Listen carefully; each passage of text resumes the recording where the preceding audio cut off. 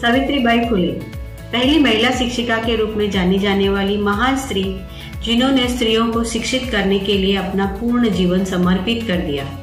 उस सावित्रीबाई फुले को समर्पित मेरी एक कविता, स्त्री शिक्षा और सावित्रीबाई फुले। उस सावित्रीबाई फुले को शत शत नमन है, जिन्होंने खिलाया बेटियों की शिक्षा का चमन है।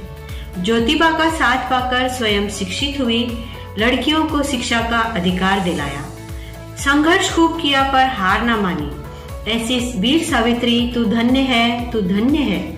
रूढ़ी परंपराओं को तोड़ना, बेटियों को शिक्षा से जोड़ना, तटस्थ चट्टान की तरह मुसीबतों को झेल कर स्त्री शिक्षा को बनाया सफल है, सावित्री तुझे शत नमन है। तुम्हारी प्रेरणा से ही तो हमें शिक्षा की मिला गगन है।